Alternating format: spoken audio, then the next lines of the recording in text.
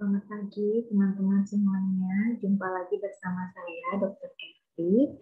Pada kesempatan kali ini saya ingin sharing kuliah di bidang psikiatri yakni mengenai neurobiologi atau mekanisme kerja dari antidepresan. Adapun di sini materi ini mengacu pada buku STO, Essential Psychopharmacology, Neuroscientific Basis, and Practical Application pada 7. Jadi di sini kita lihat ada yang namanya sebelum kita lebih lanjut ya membahas mengenai depresan kita harus tahu dulu ada yang namanya respon. Respon itu adalah ketika terapi depresi menghasilkan setidaknya 50% di sini perbaikan dari gejala minimal 50%. Kemudian kita juga ada mengenal istilahnya adalah remisi. Remisi itu adalah ketika terapi depresi, misalnya pasiennya depresi di sini, kita berikan terapi, dia hilang semua gejalanya. Ketika depresi muncul kembali setelah suatu remisi yang sempurna, ya, itu namanya relapse yang terjadi biasanya pada beberapa bulan pertama nih. Baru di sini namanya turun lagi relapse namanya. Sedangkan rekurensi adalah suatu keadaan di mana depresi kembali terjadi setelah pasien itu pulih. Nah, di sini kita lihat gambar lagi mengenai tingkat remisi pada pasien dengan gangguan depresi ya.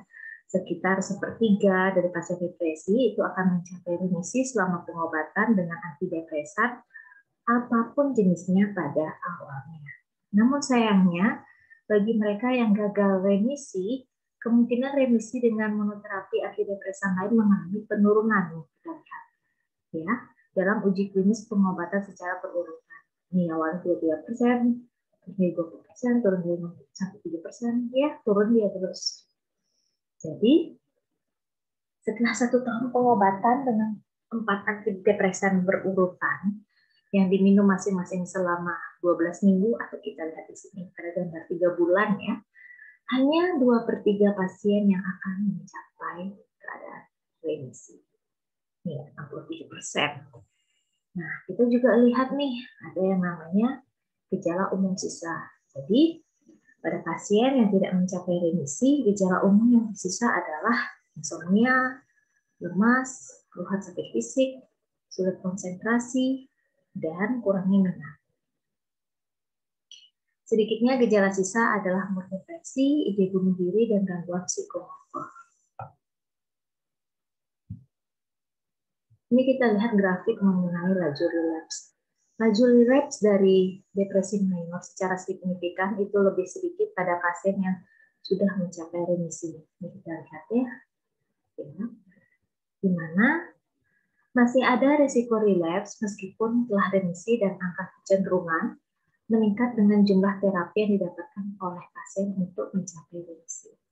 Jadi, laju relapse untuk pasien yang tidak mencapai remisi mulai sekitar 60% dalam 12 bulan setelah monoterapi dan menjadi 70% ya, dalam 6 bulan setelah terapi. terapi ya. Dengan kata lain, sikap protektif dari remisi itu menghilang setelah mendapat empat terapi untuk mencapai remisi.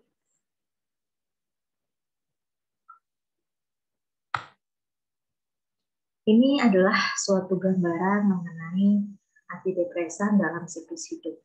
Jadi suatu efikasi, tolerabilitas, dan keamanan dari antidepresan itu sudah dipelajari sejak pasien berada pada umur 25 sampai 64 tahun. Ya, Data pada umur tersebut menunjukkan rasio risiko manfaat lebih cenderung pada umur 25 sampai 64 tahun dan menurun pada umur 19 sampai 24 tahun.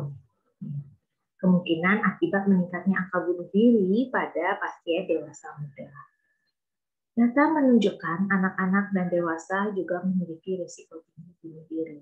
Namun, keterbatasan data menunjukkan efikasi antidepresan yang diberikan pada umur 6-12 tahun itu memiliki rasio risiko manfaat paling jelek dibandingkan dewasa muda dan anak-anak.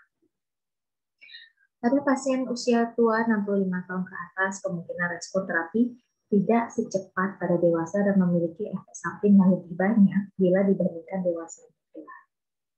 Kemudian di sini kita lihat bagaimana perjalanan waktu dari efek antidepresan. Gambar ini menunjukkan tiga perjalanan waktu yang berbeda dari antidepresan. Ini yang pertama adalah ini, yang hijau adalah perubahan klinis.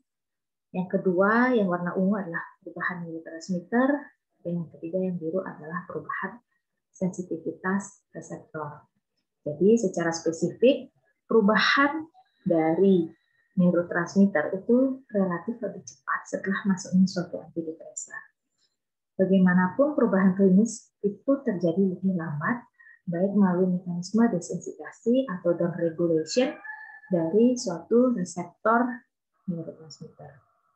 Jadi korelasi temporal dari perubahan klinis dengan perubahan sensitivitas reseptor kemungkinan memediasi perubahan klinis dari obat antidepresan.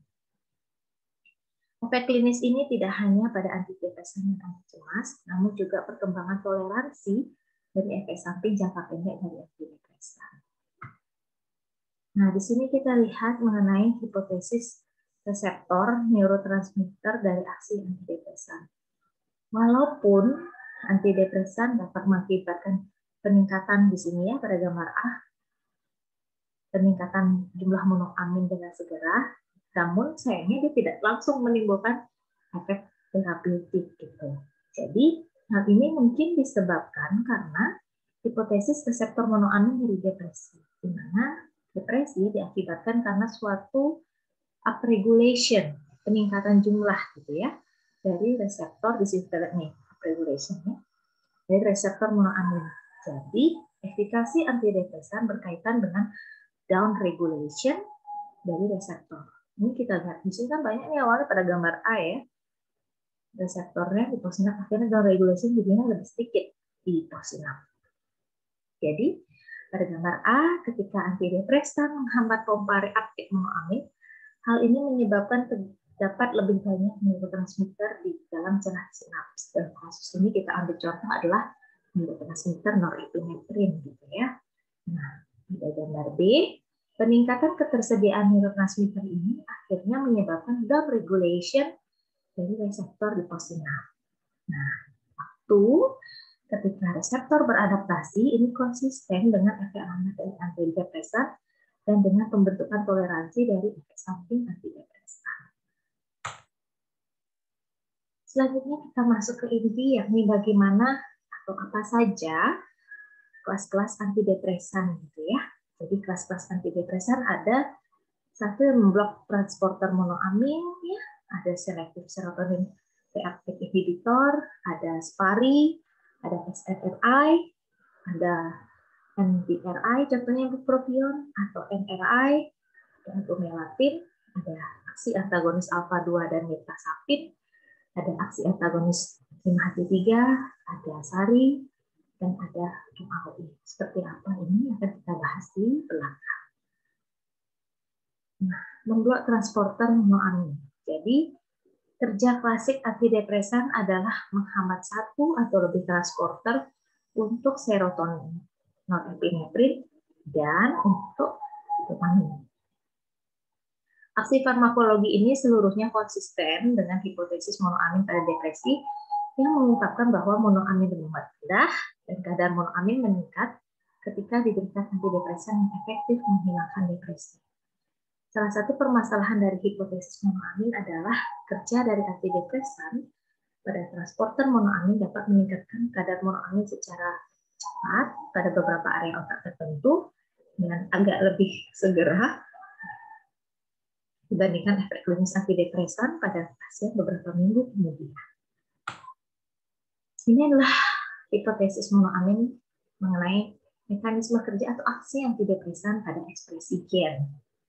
Dari sini kita lihat adaptasi dalam sejumlah sektor atau sensitivitas kemungkinan akibat kerusakan ekspresi gen seperti ditunjukkan di sini ya.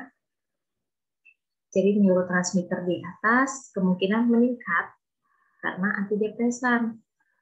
Nah, Konsekuensi proses mini kaskade dari ini menyebabkan suatu proses pada perubahan gen. yang pada akhirnya menunjukkan dampak dari respon antidepresan. Bisa efeknya adalah down regulation dari beberapa gen sehingga terjadi penurunan sintesis dari reseptor. Atau pada beberapa kasus gitu ya, terjadi upregulation dari gen lain di mana menyebabkan terjadi peningkatan sintesis dari BDNF yang berperan dalam neurogenesis. Selain itu juga berperan dalam beberapa faktor neurotropik lain terkait mana mensintesis uh, berbagai jenis protein yang penting dalam neuroplastisitas. Gitu ya. Yang pertama kita bahas kelasnya yang paling sering kita gunakan adalah selective serotonin reuptake inhibitor atau SSRI. Di sini kita lihat SSRI itu ini gambarnya SERT gitu ya. Ini obatnya secara umum dulu. Jadi gambar ini menunjukkan suatu karakteristik utama dari penghambat selektif reuptake serotonin. Dinamakan dengan penghambat reuptake serotonin, di mana kelas ini menghambat transportasi dari serotonin. Ini penghambatannya di sini. Ya, ini SERT, ini uh, transporternya gitu. Jadi kita lihat di sini pompa reaktifnya diblok sehingga uh, neurotransmitter di celah sinapnya banyak. Pada bagian ini kita lihat ketika sudah dihambat ya, ini ada di somatodendritik dan di, di daerah akson, di sinap ya. Kita lihat pada depresi, neuron serotonin itu dalam suatu keadaan defisiensi neurotransmitter serotonin. Dan juga disertai dengan suatu upregulation dari autoreseptor nih di daerah somatodendritik resinap 5H1A dan juga upregulation dari reseptor serotonin di possinap. Ketika SSRI diberikan, maka akan segera memblok efek serotonin, pompanya tadi SERT itu yang ini ya, ini di upregulate terutama di daerah autoreseptor di resinap di daerah somatodendritik ya sehingga pada akhirnya banyak sekali neurotransmitter serotonin di daerah somatodendritic area pada neuroserotonin. Hal ini menyebabkan terjadinya down regulation berkurang di ini dari reseptor 5HT1A, autoreseptor somatodendritic.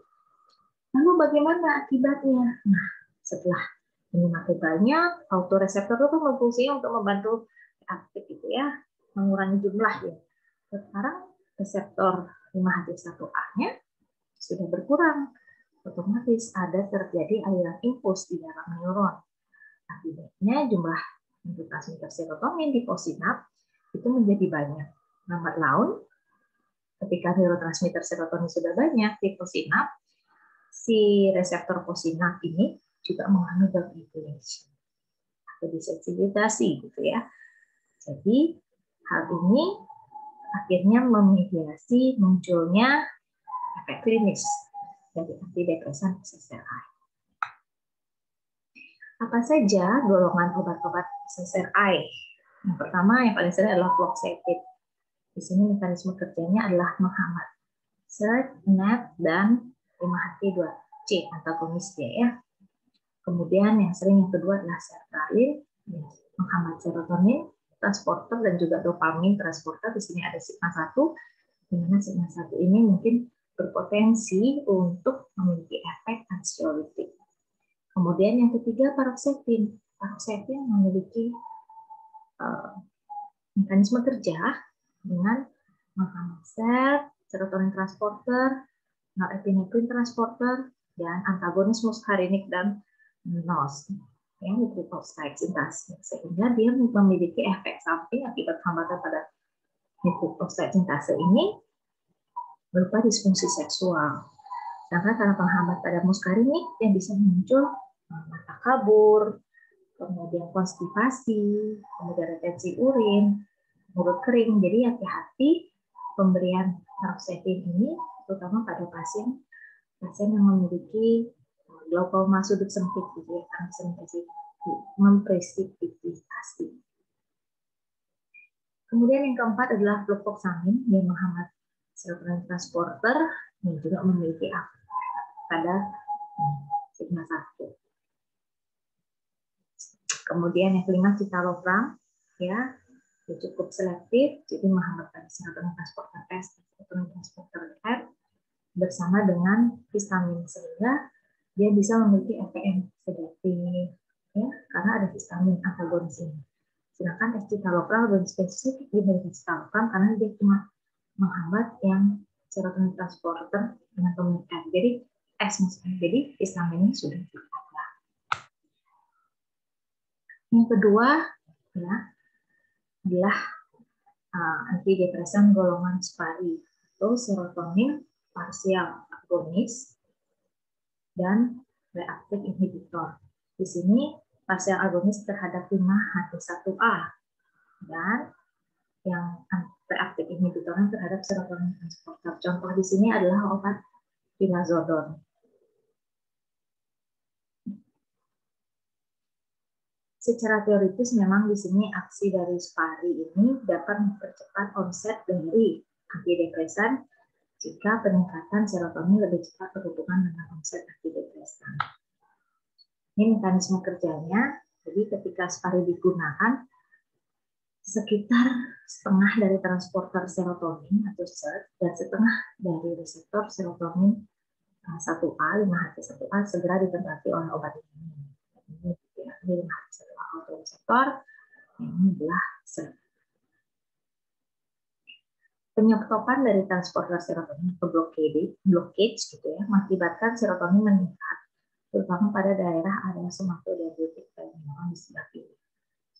Nah, konsekuensi dari peningkatan serotonin pada area somatodentritik dari neuron serotonin di sini menyebabkan suatu desensitisasi autoreseptor somatodentritik 5-HT1A atau deregulation.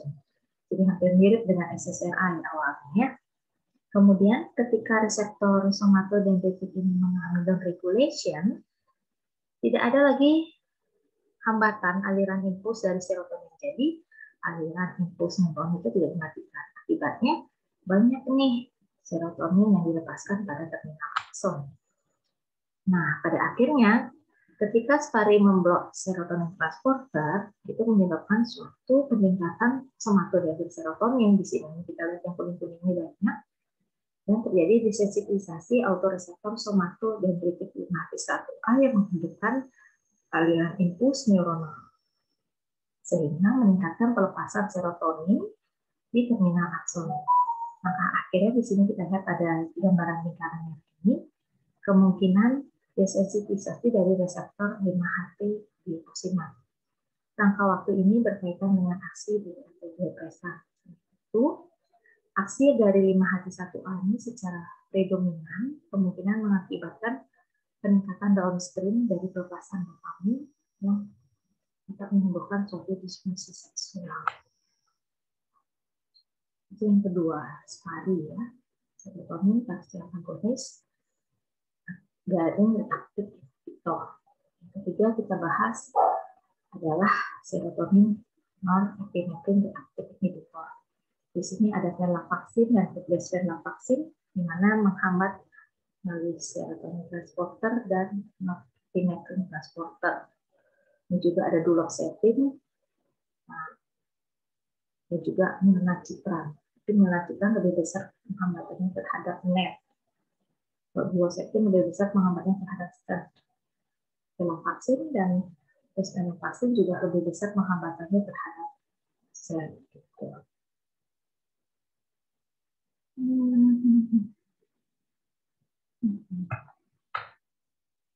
Ini adalah mekanisme kerja dari SNRI, jadi dual action dia. Jadi menghambat serotonin reaktif pada daerah kiri, ya, kita lihat yang warna kuning-kuning sehingga serotoninnya banyak di celah sinap. Pada kanan ini yang menghambat norepinefrin transporter sehingga norepinefrin banyak ada di celah sinap. Akibat keduanya ini kombinasinya sehingga jadi fasilitas serotonin dan norepinefrin banyak gejala senap yang diharapkan memperbaiki gejala depresi dan fase. Ini adalah bagaimana suatu penghambatan transport norepinefrin dan dopamin pada korteks prefrontal. Pada gambar A di sini, meskipun uh, terdapat beberapa neurotransmitter serotonin ya, dan transporter norepinefrin itu pada daerah korteks prefrontal, di sana hanya terdapat sedikit sekali transporter dopamin. Artinya dopamin dapat berdifusi keluar dari sinap dan kemudian menimbulkan aksi dengan radius yang jauh. Aksi dopamin diterminasi pada terminal akson karena dopamin diambil oleh net.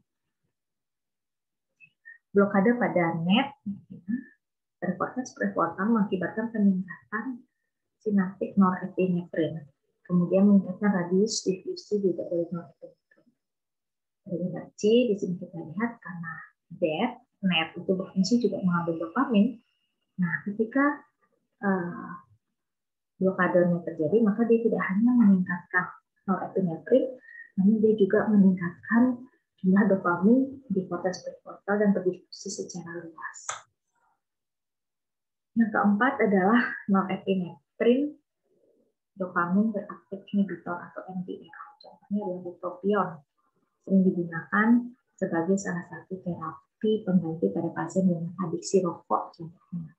Ya, dia menghambat BAT dan menghambat minyak. Bupropion ini di metabolisme menjadi sejumlah metabolit aktif, beberapa tidak hanya lebih poten menghambat NET dibandingkan propion sendiri dan sebanding poten menghambat BAT tetapi juga terkonsentrasi dari dan karena itu, bupropion merupakan obat aktif yang berusaha untuk obat aktif lainnya. Nah, di sini kita lihat ya, bahwa uh, dia menghambat norepinefrin sehingga dijelasin banyak jumlah norepinefrin dan dia juga menghambat um, dopamin sehingga dijelasin sehingga dapat harapkan dapat menimbulkan efek aktivitas ini hampir mirip dengan di depan, ya, bahwa penghambatan reaktif epinefrin, dopamin atau NDRI, bupropion dalam hal ini, membuat transporter NET dan BAT.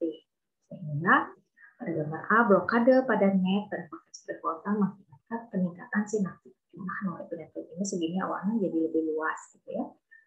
Pada gambar B di sini kita lihat bahwa karena korteks prefrontal kurang BAT, dan NET membawa dopamin sama seperti norepinefrin. Jadi awalnya blokade pada NET ini juga mengakibatkan peningkatan sinaptik jumlah dopamin seperti jumlah neurotransmitter pada korteks prefrontal. Yang selanjutnya meningkatkan radius difusi dari dopamin. Jadi meskipun tidak ada DAT di daerah korteks prefrontal, NDRI itu masih meningkatkan jumlah dopamin pada korteks prefrontal karena dia bekerja melalui Oke. Yang kelima adalah selektif norepinephrine reactive inhibitor. Contohnya adalah reboxetin, edifoxetin, dan atomoxetin. Meskipun beberapa antidepresan trisiklik, contohnya desipramin, kemudian mapropilin, itu menghambat reaktif norepinephrine lebih poten dibandingkan reaktif serotonin, bahkan resiklik ini tidak sepenuhnya selektif karena mereka juga menghambat banyak reseptor lain seperti alpha 1 adrenergic, histamin, reseptor cholinergic ya. Jadi selektif adrenergic atau norepinephrine aktif inhibitor pertama yang berdasarkan pada negara lain adalah reboxetine dan di AS Amerika Serikat adalah atomoxetine. Selanjutnya kita lihat di sini gambaran pada pasien depresi itu terjadi suatu fase delay pada ritme sirkadian dari siklus tidur bangun. Ini kita lihat pada gambaran bagaimana ritme sirkadian yang terjadi dalam siklus 24 jam. Banyak sistem biologis mengikuti ritme sirkadian, khususnya sirkadian merupakan kunci regulasi dari siklus tidur atau bangun. Pada pasien depresi, ritme sirkadian sering terjadi fase delay, di mana berarti karena kewaspadaan tidak muncul pada pagi hari, jadi pasien cenderung akan tidur itu setelahnya. Mereka juga memiliki masalah tidur pada malam hari di mana gangguan tidur terjadi pada siang hari ini kita lihat kalau pasien sehat itu warna hijau ini yang katakanlah bangun jam 7 gitu ya irama sebagai jam 11 mulai itu bangun lagi gitu lagi gitu. sedangkan orang depresi dia bangunnya agak lebih telat atau namanya bergeser gitu ya delay gitu. Ini adalah gambaran fisiologis pengukuran ritme sirkadian yang terganggu pada pasien dengan kondisi depresi. Di sini kita lihat pasien yang depresi warnanya yang ungu, sedangkan yang sehat itu yang hijau gitu ya. Ritme sirkadian itu memiliki fungsi biologis yang multiple. Jadi meliputi suhu tubuh, kemudian ada hormon, tekanan darah, metabolisme, regenerasi sel, siklus bangun tidur, serta suatu transkripsi dan translasi dari DNA. Jadi suatu koordinasi internal dari ritme sirkadian itu esensial untuk kesehatan yang optimal. Jadi pada pasien yang depresi di sini kita lihat terdapat kerusakan pengukuran fisiologis dari ritme sirkadian yang meliputi suatu fluktuasi dan suhu tubuh selama siklus waktu 24 jam pola yang sama tetapi terdapat peningkatan kadar kortisol dalam 24 jam ya. Dan hilangnya lonjakan kadar melatonin di sini pada malam hari. Kita lihat di sini kortisolnya justru jumlahnya naik sekali di depresi dibandingkan normal. Sedangkan melatonin yang membantu kita tidur pada pasien dengan depresi itu berkurang sekali jauh. Sedangkan orang sehat kan seperti tinggi tidur yang terganggu. Suhu tubuhnya di sini berkurang pada pasien depresi, maka ini orang yang normal segini. Yang keenam, kita bahas adalah agomelatin. Jadi, agomelatin itu merupakan suatu agonis terhadap melatonin 1 dan melatonin 2 dan antagonis terhadap 5 reseptor serotonin 5-HT2C dan 5-HT2P. Jadi depresi dapat mengganggu ritme sirkadian yang mengakibatkan adanya suatu keterlambatan siklus hidup bangun. Berbagai penanda fisiologis dari siklus sirkadian juga terganggu saat depresi dari mendapatkan siklus suhu tubuh yang tadi kita lihat di gambar depan sampai meningkatnya sekresi kortisol sepanjang hari dan juga menurunkan sekresi dari melatonin yang secara normal meningkat saat malam dan gelap. Ritme sirkadian normal lainnya kemungkinan juga terganggu pada depresi, jadi meliputi adanya pengurangan dari PDFF dan neurogenesis yang secara normal meningkat pada malam hari. Yang lain di sini contohnya adalah agomelatin. Nah, lanjutannya merupakan suatu antidepresan yang disetujui oleh berbagai negara di luar Amerika Serikat karena memiliki efek agonis pada melatonin 1 dan melatonin 2 dan aksi antagonis terhadap reseptor 5-HT2C. Jadi, agomelatin ini menstimulasi reseptor melatonin pada suprachiasmatic nucleus dan secara simultan membawa reseptor 5-HT2C yang mengakibatkan terjadinya suatu rekronisasi gitu ya dari ritme sirkadian dan membalikkan delay pace atau fase keterlambatan dari depresi yang memberikan efek antidepresan.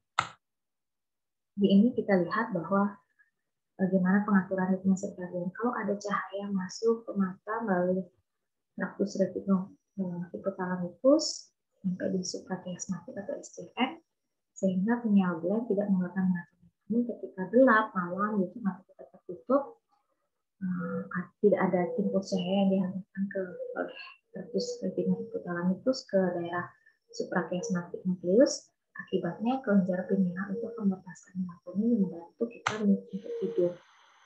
Ya, jadi ini merupakan gambaran bagaimana pengaturan ritme sirkadian pada pasien depresi terjadi suatu fase dulu.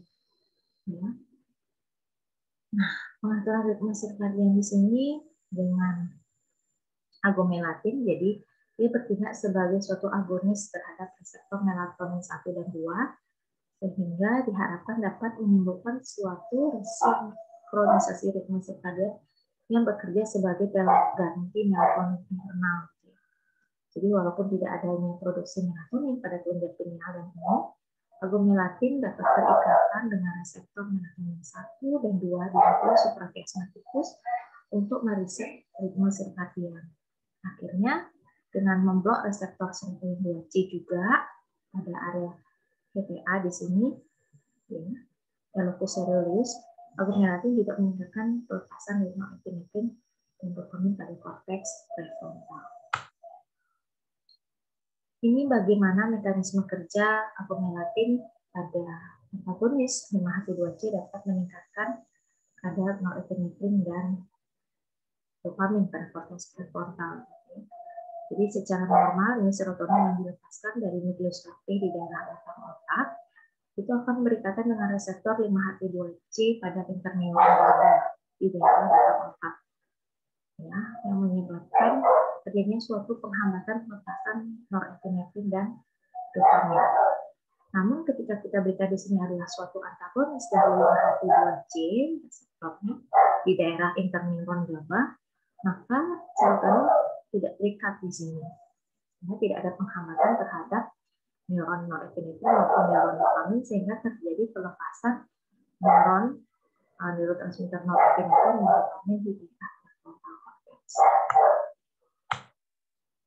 Yang ketujuh adalah aksi dari antagonis alfa 2 dan mifepristone. Jadi antagonis alfa 2 merupakan salah satu jalan untuk meningkatkan pelepasan dopamin dan menimbulkan efek antidepresan. Mengingat bahwa norepinefrin menghentikan sekresinya dengan cara berinteraksi dengan autoreseptor alfa 2 sinaps dari neuron noradrenergic, oleh karena itu ketika antagonis alfa 2 dimasukkan, norepinefrin tidak lagi menghentikan sekresinya dan neuron non-adrenergic itu dihambat dari terminal neuron seperti pada waktu dan korteks.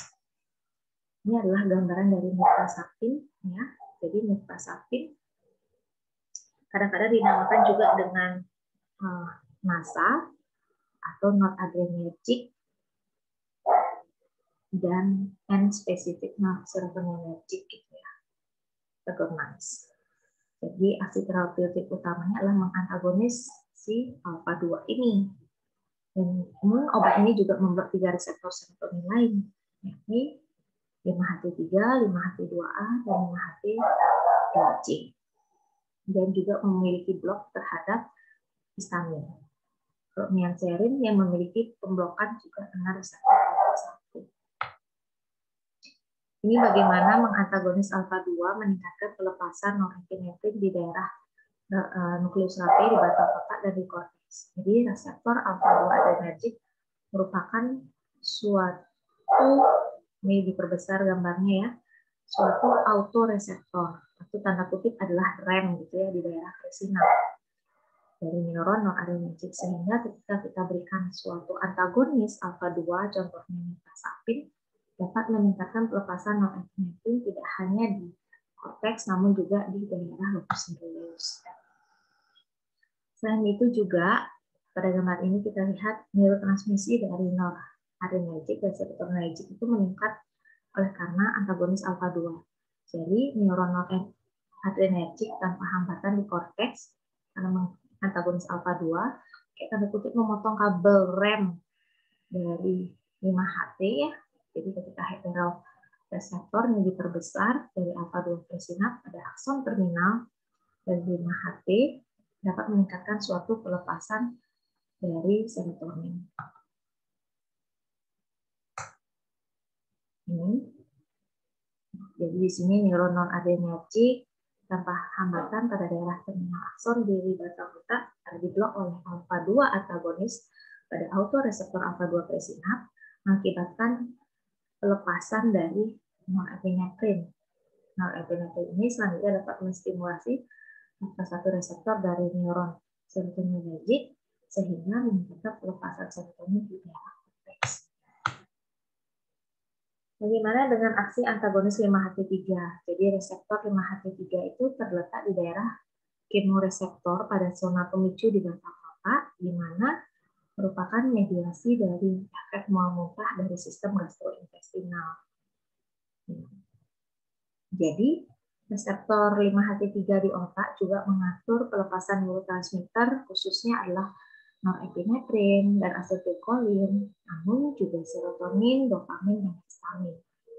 Agen seperti mitrasapin, ya, itu dengan sifat antagonis 5-HT3 seharusnya meningkatkan pelepasan berbagai macam transmitter dan juga berperan dalam efek antidepresan.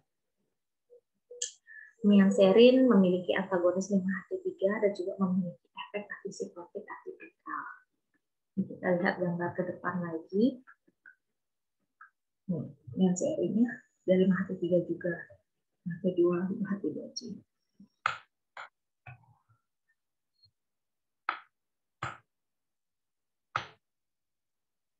Ini antagonis dari 5-HT3 dapat meningkatkan pelepasan dari norepinefrin dan juga dari acetyl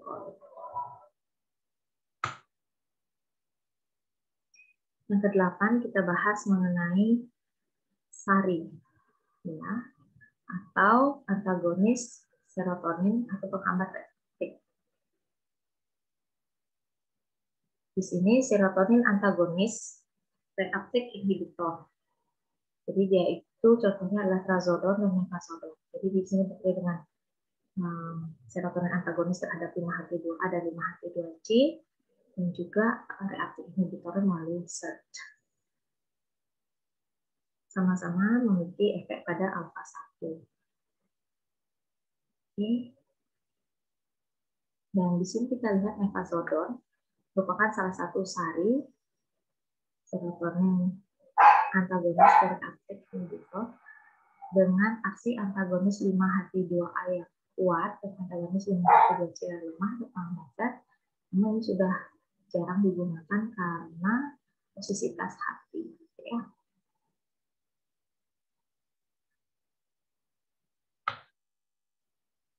Ini merupakan gambaran trasodon, bagaimana trasodon atau sari pada dosis yang rendah pada dosis tinggi itu memerlukan saturasi dari transporter serotonin sekitar 150 sampai 600 mg sebagai antidepresan. Pada dosis antidepresan tinggi, trazodon merupakan agen serotonergic yang multifungsi karena memiliki aksi antagonis pada reseptor 5-HT2A dan 5-HT2C.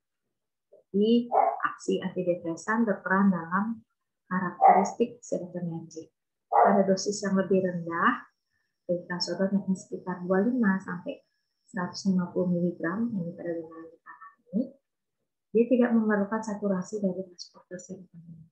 Jadi, kehilangan efek antidepresan namun tetap mempertahankan aksi antagonis reseptor 5-HT2A, alpha 1, dan histamin 1 yang berperan dalam efikasi hipnotik ini. Ini adalah histamin.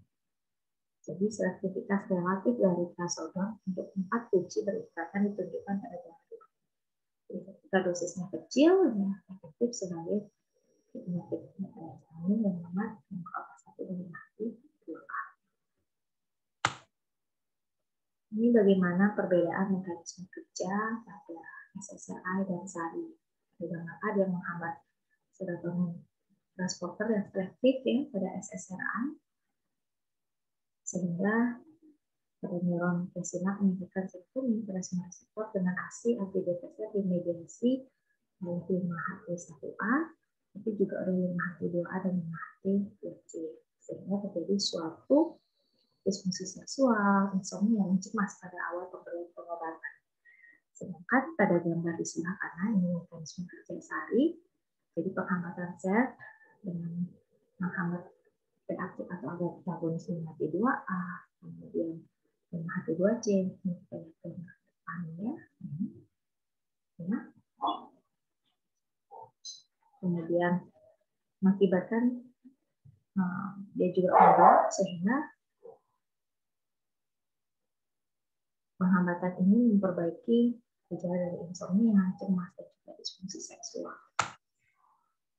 Ini perbedaan transodon yang immediate release dan juga extended release diberikan sekali sehari pada malam hari. Pada gambar ini kita lihat pada gambar kadar plasma transodon yang stabil pada dosis 50, 75, 100. Ya. Sekali pada malam hari transodon immediate release itu dalam 9 hari. Kadar minimum dari aksi antidepresan prasoron dicapai secara sementara. Dan berkebalikan dengan hal tersebut pada gambar ini, prasoron 300 mg extended release diberikan satu kali pada malam hari baru mengakibatkan peningkatan kadar. Plasma naik perlahan kemudian turun dan tidak pernah jatuh di bawah konsentrasi minimum antidepresan. Jadi puncak kadar prasoron SR itu sekitar 300 mg, di mana memiliki puncak yang sama dengan testosteron immediate release pada dosis 100 mg puncak. Yang kesembilan adalah monoamine oxidase inhibitor, contohnya adalah penicillin, dan silpromin, isokarboxasid, gitu ya, yang menghambat enzim secara reversible. Hanya kembali aktivitas enzim ini jika enzim baru disintesis sekitar 2 3 minggu berikutnya.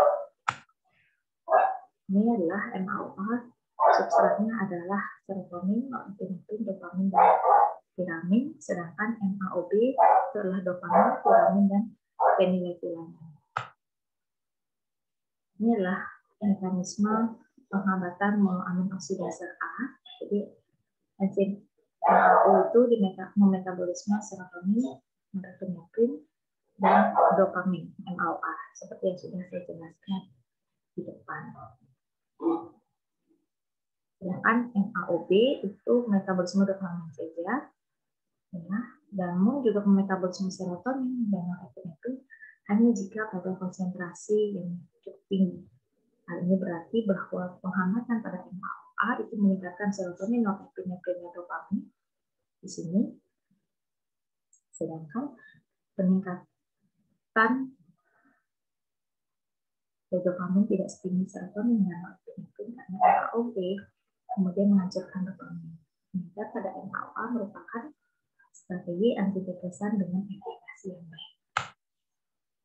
Ini kita lihat kalau menghambat MAOB yang selektif tidak memiliki efikasi sebagai antidepresan karena MAOB itu memetabolisme serotonin dan norepinefrin hanya pada konsentrasi tinggi. Sedangkan sejak MAOB berperan dalam menghancurkan serotonin dan norepinefrin itu kecil, hambatan yang ditimbulkan tidak relevan dengan konsentrasinya pada neurotransmitter. Menghambat selektif MAOB itu juga memiliki efek terbatas pada konsentrasi dopamin. Jadi MAOA kemudian menghancurkan dopamin, dan penghambat MAOB tidak meningkatkan dopamin pada kondisi tertentu di mana berfungsi terapeutik pada penyakit lain, misalnya Parkinson. Ini adalah kombinasi penghambatan MAOA dan MAOB. Jadi akibat kombinasi ini meningkatkan aksi antidepresan tidak hanya serotonin dan norepinefrin, namun juga dopamin. Ya. Penghambatan pada MAOA, di mana metabolisme namun metabolisme serotonin, norepinefrin, dan dopamin serta MAOB, di mana metabolisme utamanya adalah dopamin, mengakibatkan peningkatan besar dari neurotransmitter dibandingkan enzim tersebut bekerja sendiri-sendiri. Ini adalah reaksi fatal jika terjadi suatu krisis hipertensi. Jadi ada di kepala, di daerah occipital, palpitasi, kaku leher, mual, muntah, keringat, dilatasi atau fotofobi yang takikardi atau bradikardi yang berhubungan dengan constriction constriction dari chest pain. Ini adalah mekanisme bagaimana tiramin meningkatkan pelepasan norepinefrin. Uh, Ini. Jadi tiramin merupakan suatu asam amino yang terdapat pada berbagai makanan, contohnya keju. Dan lihat di sini pada dosis tiramin tinggi, misalnya katakan 40 mg, dia dapat meningkatkan pelepasan dari norepinefrin di mana pada kondisi normal enzim oksidase itu siap menghancurkan uh, norepinefrin oleh tiramin sehingga tidak timbul kerusakan tidak timbul peningkatan tekanan darah. Namun ketika diberikan monoamin oksidase A, tiramin ini merangsang pelepasan norepinefrin banyak. Ditambah lagi monoamin oksidase menghambat juga pemecahan norepinefrin jadi berlebihan lah norepinefrin di celah sinapsi sehingga ketika norepinefrin ini berikatan dengan alfa 1 reseptor dapat menyebabkan suatu vasokonstriksi dan hipertensi.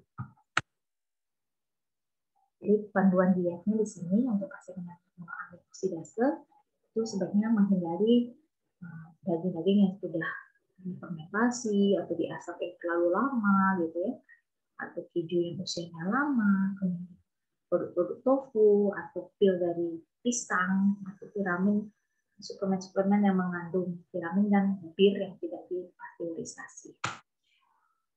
Ini merupakan gambaran dari suatu transdermal cerebellum, jadi merupakan suatu penghambat NAOB selektif. Memiliki efikasi sebagai antidepresan hanya ketika diberikan dalam dosis yang tinggi, gitu ya. Namun ketika diberikan secara oral pada dosis tertentu juga dapat mengakibatkan suatu reaksi viramin. Bagaimana seligilin dapat menghambat MAOA dan MAOB pada otak memiliki antidepresan ketika terjadi suatu hambatan hanya pada MAOB di saluran cerna untuk menghindari reaksi viramin, maka pemberian seligilin diberikan secara transdermal. Mengakibatkan obat langsung masuk ke sirkulasi sistemik, masuk ke otak yang dosis tinggi, dan memiliki efek antidepresan namun menghindari efek pertama dalam hati dan mengurangi risiko terapi. Ini merupakan penghambatan MAOA yang reversibel. Jadi, akumulasi dari norepinefrin yang dilepaskan oleh tiramin atau keju gambar di sini, itu bisa menggantikan uh, rima, ya, yang mengakibatkan kehancuran natural dari ekstra norepinefrin sehingga tidak terjadi peningkatan tekanan ataupun konsekuensi.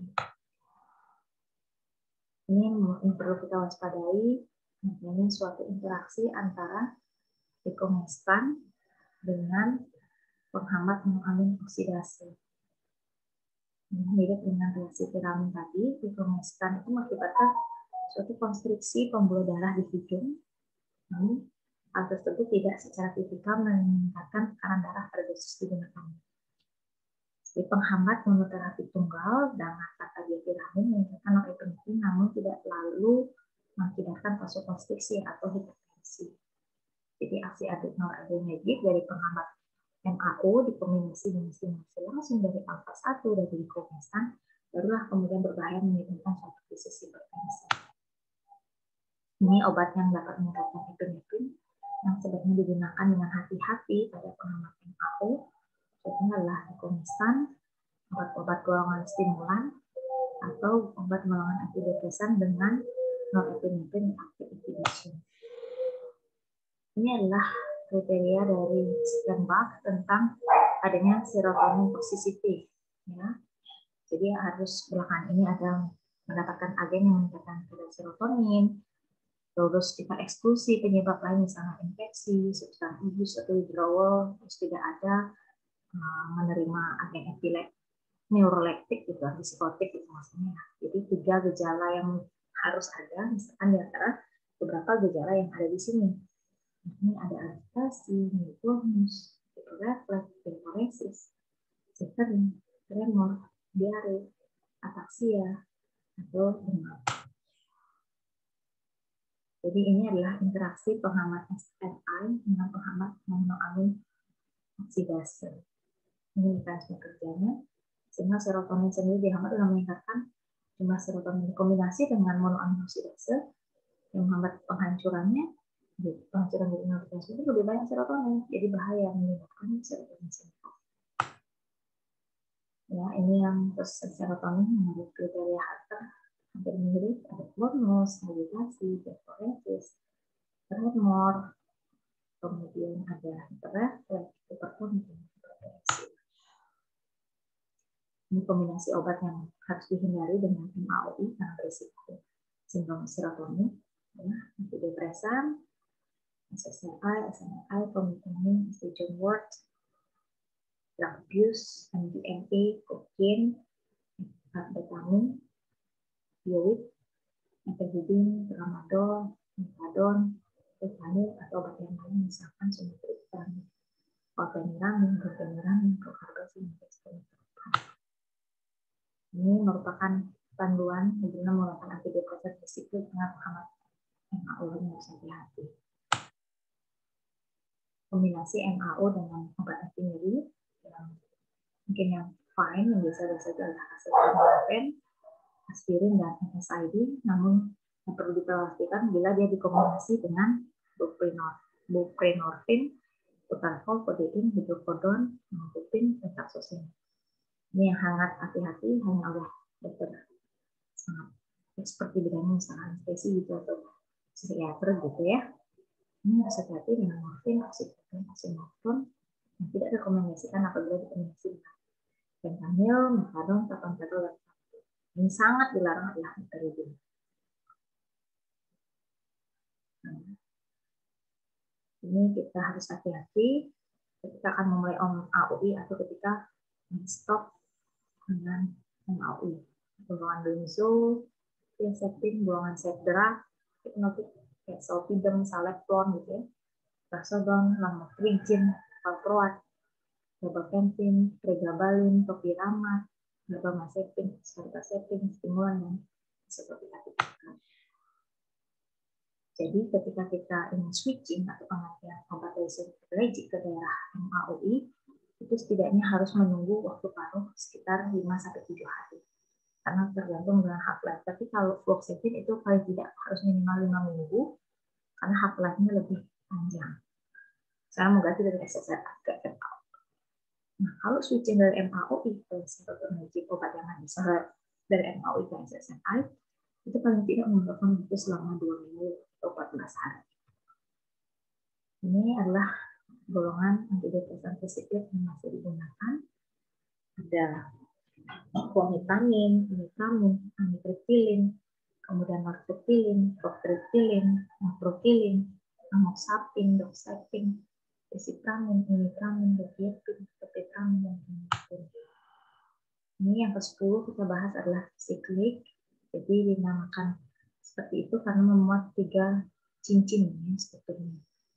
Jadi trisiklik disintesis pada waktu yang sama seperti mengumpul tiga cincin lainnya di mana ditunjukkan memiliki efektivitas sebagai tranquilizer pada schizophrenia, jadi sebagai obat neuropeptik psikotik awal, contohnya adalah chlorpromazine gitu ya.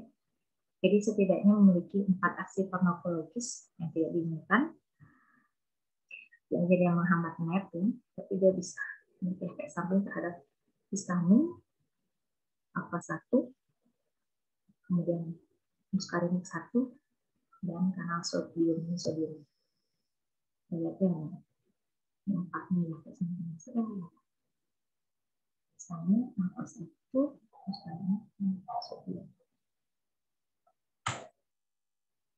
jadi trisiklik ini menghambat reaktif serotonin ya yang menyebabkan antidepresan dan juga menghambat NET Marketing Transporter. Hmm, bagiannya ini.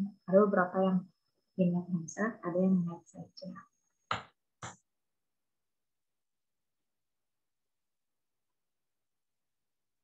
Ini dia juga memiliki aksi pengamatan terhadap antagonis 5H2A, 5H2C. Efek sampai yang muncul adalah yang pertama berkaitan dengan antihistamin adalah penyembuhan berat badan, mengantuk dengan mustarini, konstipasi, mata kabur, ngantuk, mulut kering, dengan penguatan alfa 1, pusing, untuk menyebabkan tekanan darah. Penurunan tekanan darah maksudnya. Jadi di sini juga kita lihat dia memblok kanal natrium sehingga harus digunakan pada hati-hati pada orang-orang yang memiliki gangguan jantung yang bisa menyebabkan aritmia dan pada akhirnya menyebabkan suatu kematian. Atau dia penghambatan sodium channel di otak yang bisa menambahkan suatu kejang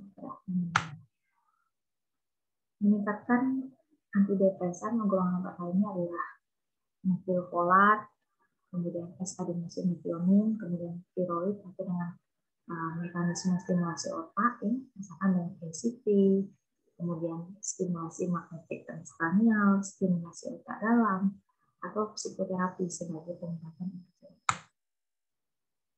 bagaimana kita memilih antidepresan itu berdasarkan ada klinis yang ada, kemudian ada gejala dari pasien, atau atas dasar pengujian genetik misalnya orang tuanya, keluarganya, kerabatnya cocoknya itu apa. Ini adalah pembentukan L-metifolat dari asam folat ya. Jadi asam folat itu disintesis diubah menjadi dihidrofolat oleh enzim dihidrofolat reduktase, kemudian uh, diubah lagi menjadi tetrahidrofolat oleh DHFR ya di sini. Kemudian di sini juga uh, serin hidroksimetil transferase kemudian mengubah THR ini menjadi metilen THR. Akhirnya metilen THR itu diubah oleh metilen tetrahidrofolit reduktase menjadi aldehyde. Ini adalah gambaran tetrahydrobiopterin merupakan kofaktor untuk sintesis neurotransmitter monoamin. Jadi tetrahydrobiopterin ini merupakan kofaktor enzim penting untuk tirosin hidroksilase, suatu enzim yang membatasi laju untuk sintesis dopamin dan adrenaline dan hidroksilase merupakan pembatas laju enzim untuk serotonin. Karena L-metilfolat itu mengatur produksi dari kita singkat di sini adalah BH4, maka L-methylfolat berperan tidak langsung dalam mengatur sintesis dan konsentrasi dari makanan. Jadi inilah gambaran bagaimana defisiensi folat dan karena L-methylfolat secara tidak langsung mengatur sintesis neurotransmitter monoamin. Defisiensi folat itu bila ia diberikan dapat menyebabkan penurunan kadar monoamin sehingga muncul gejala depresi. Jadi penurunan sintesis monoamin dapat berarti bahwa bahkan dalam adanya penghambatan SSRI, kadar serotonin masih tetap rendah. Karena penelitian menunjukkan bahwa rendahnya kadar folat atau uh, folat itu yang mungkin terkait dengan depresi pada beberapa pasien. Pemberian l folat dan polinat asam dalam hubungan dengan antidepresan dapat meningkatkan efek terapeutik terapi antidepresan dosis tinggi oral L metylfolat mungkin paling efisien untuk meningkatkan produksi BH4 di sistem saraf pusat dan kemudian meningkatkan kadar neurotransmitter Ini adalah L metylfolat dan COMT. Ini adalah gambaran stimulasi dari magnetik transkranial, di mana merupakan suatu metode pengobatan diberikan suatu arus bolak-balik yang cepat melewati gulungan kecil ditempatkan di atas kulit kepala ini menghasilkan medan magnet yang menginduksi arus listrik di area otak yaitu di daerah korteks prefrontal dorsolateral. Neuron yang terkena kemudian memberi sinyal ke area lain di otak adanya stimulasi daerah otak di mana terdapat kekurangan amin misalnya di sini akan menyebabkan terjadi suatu peningkatan aktivitas amin sehingga mengurangi gejala depresi.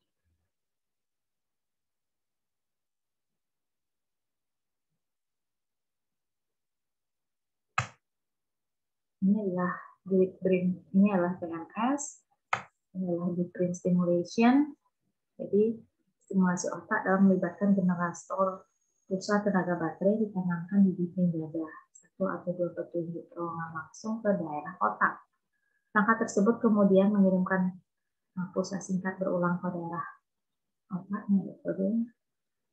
yang menyebabkan meningkatnya aktivitas amin sehingga menyebabkan Ini adalah algoritma penggunaan antidepresan berbasis gejala. Jadi di sini kita lihat ada ini gangguan depresi minor, ya. Ini adalah kita diagnostiknya. Muncul gangguan tidur, kemudian ada masalah konsentrasi, lelah, gitu ya. Adalah gejala umum dari gejala sista. Ini adalah algoritma penggunaan antidepresan berbasis gejala dari gambar ini kita lihat gejala residu paling umum dari depresi berat itu terkait secara hipotesis dengan sirkuit otak yang rusak.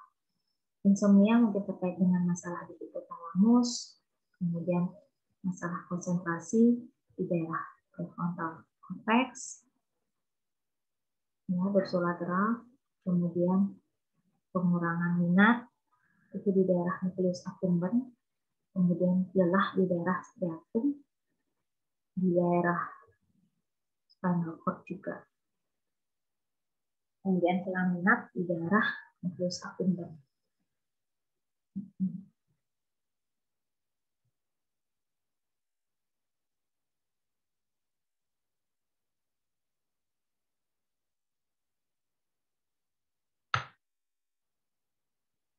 penggunaan antidepresan berbasis gejala. Rasa lelah dan konsentrasi itu diatur oleh norepinefrin dan dopamin. Jadi bisa kita berikan golongan obat MDRI, MRI, SNRI, dan NLP ditambah dengan eh, modafinil, stimulan, aktivitas psikotik, steroid, lithium, atau L24, dan mengatur satu agonis. Sedangkan gangguan tidur itu dengan serotonin, GABA, dan histamin kita bisa berikan golongan hipnotik misalnya Esopiklon, selektif, asuran penetasan dan stop aktivitas antidepresan. Di sini adalah gambaran bagaimana beberapa depresi yang belum uh, terpisahkan dari kriteria diagnostik orang terkait dengan gangguan kategori gangguan depresi. Ini termasuk gejala nyeri fisik, ngantuk, kemudian yang berlebihan di siang hari atau hipersomnia, dengan masalah gairah dan kewaspadaan, kemudian adanya suatu kecemasan, kemudian adanya suatu gejala dari vasomotor, dan ada disfungsi seksual. Nah, ini berbasis gejala kalau hipotalamus, gejala mengantuk, gejala vasomotor, gejala nyeri disfungsi seksual, kemudian talamus nyeri juga sleepiness atau hipersomnia atau alert nukleus accumbens di sini adalah libido atau disfungsi seksual, kemudian rasa alert dan mengantuk hipersomnia di frontal cortex, ini juga gejala bas uh, uh, bahasa brain itu the sleepiness hipersomnia di sini juga berubah adalah anxiety. Ya, kalau misalkan ansietas, serotonin GABA, vasomotor seperti norepinefrin, disfungsi seksual dopamin, yang rasa ngantuk, dopamin, norepinefrin, histamin, yang terjadi serotonin dan norepinefrin. Ini adalah resiko depresi di seluruh siklus hidup wanita. Jadi biasanya onset pertama pada masa pubertas dan dewasa muda, dan juga muncul sebuah premenstruasi dan pembesaran menstruasi sebagai pertanda episode masa depan atau keadaan pemulihan yang tidak lengkap dari episode depresi sebelumnya. Ada dua periode kerentanan yang sangat tinggi untuk episode pertama depresi atau kekambuhan jika seorang wanita telah memiliki episode yaitu pas masa perimenopause, PRT dan nanti pengganti um, estrogen. Ini merupakan insidensi depresi seluruh siklus pria. Jadi pada pria insiden itu pada dasarnya konstan sepanjang hidup, meskipun tingkat testosteron itu menurun secara perlahan sejak usia 25 tahun. Sedangkan yang ini adalah insiden depresi pada seluruh siklus hidup wanita ya, akibat perubahan estrogen sebagai siklusnya. Jadi pada estrogen itu meningkat selama masa pubertas, kemudian juga kejadian depresi meningkat. Kemudian jatuh lagi selama menopause, antara estrogen turun. Jadi sebelum pubertas dan setelah menopause, wanita memiliki frekuensi depresi yang sama dengan pria. Namun selama masa subur, kita estrogen tinggi dan berkurang, insiden depresi pada wanita 2-3 kali lebih tinggi dibandingkan pria. Ini adalah risiko penggunaan atau penggunaan antidepresan selama kehamilan. Jadi bisa hati-hati dapat mengakibatkan suatu penggunaan cardiac malformation, menimbulkan persisten pulmonary hipertensi pada penggunaan di trimester 3 dengan SSRI atau menyebabkan neonatal withdrawal syndrome atau prematur dengan berat badan lahir rendah atau gangguan jangka panjang dari perkembangan uh, neuro mental peningkatan risiko bunuh diri ya hingga usia 25 tahun atau um, ada risiko terjadi kondisi medis yang mereka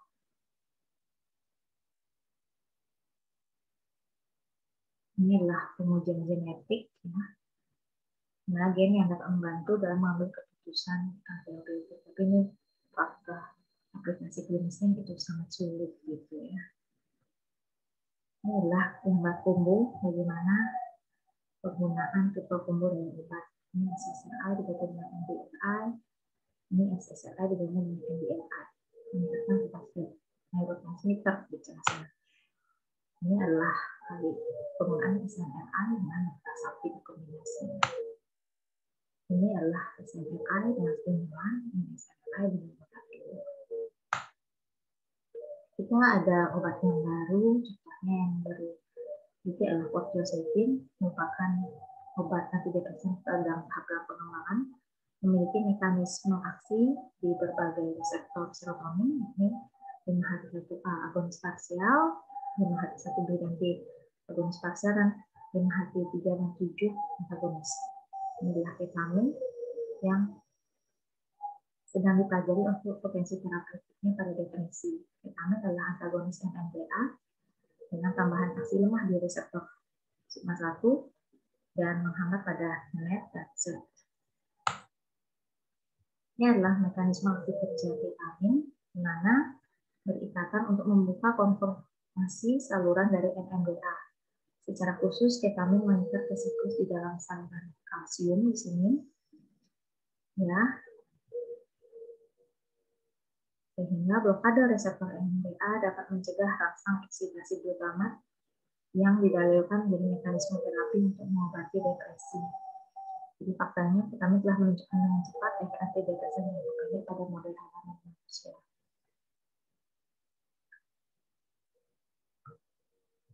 Mekanisme kerja kami di sini kita lihat bahwa di sini pada yang pertama NMDA pada daerah interneuron dapat diblokir oleh ketamin. Ini mencegah suatu rangsangan eksitasi glutamat ya sehingga neuron GABA itu menjadi non aktif dan tidak merilis GABA. Akibatnya uh, GABA berikatan di neuron piramidal utama korteks. Kedua, secara normal itu menghambat pelepasan glutamat. demikian, tidak adanya GABA berarti neuron bahwa neuron dihambat uh, pelepasan dari glutamat akhirnya meningkat. Di sini loh kerjaan ini. Di sini di blok NMDA gabanya tidak ada. Dilepaskan, di kamar bekerja mendekat batasan. Inilah vitamin bekerja dengan reseptor AMPA dan mTOR. Jadi aktivitas glutamat memodulasi potensiasi sinaptik secara khusus dimodulasi melalui reseptor LPA dan AMPA. Ketamin adalah antagonis reseptor NMDA, namun efek aktivitas yang cepat mungkin terkait dengan efek tidak langsung pada pensinyalan reseptor apa, ini pensinyalannya ya, yang jalur target melalui mTOR. Akibatnya mungkin blokade dari reseptor NMDA menyebabkan aktivasi dari AMPA dan jalur pensinyalan mTOR.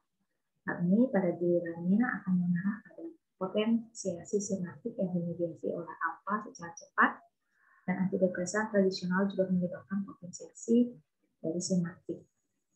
Namun mereka melakukan melalui perubahan hilir dalam persinyalan intraseluler.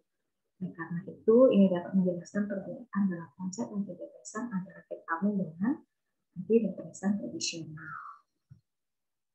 Ini adalah dextromethorphan, suatu antagonis NMDA lemah dengan afinitas peningkatan terhadap serotonin transporter yang lebih kuat, kemudian reseptor sigma 1, yang membuat transmitter norepinephrine transporter maksud saya. Jadi dia juga memiliki afinitas untuk reseptor mu. Dextromethorphan disetujui untuk mengobati efek pseudobulbar dengan kombinasi quinidin meningkatkan dua probabilitasnya yang memiliki kemungkinan terapeutik pada depresi. Ini masih dalam tahap penelitian. Ini adalah obat kumbo yang baik kita bahas di depan. Jadi masa depan mungkin adalah suatu alternatif modal yang blokade seperti penggunaan vitamin yang masih dalam tahap penelitian. Demikian seri kita pada pagi kali ini mengenai neurobiologi atau mekanisme kerja dari antidepresan umum semoga bermanfaat untuk teman-teman yang ada di rumah. Terima kasih dan sampai lagi.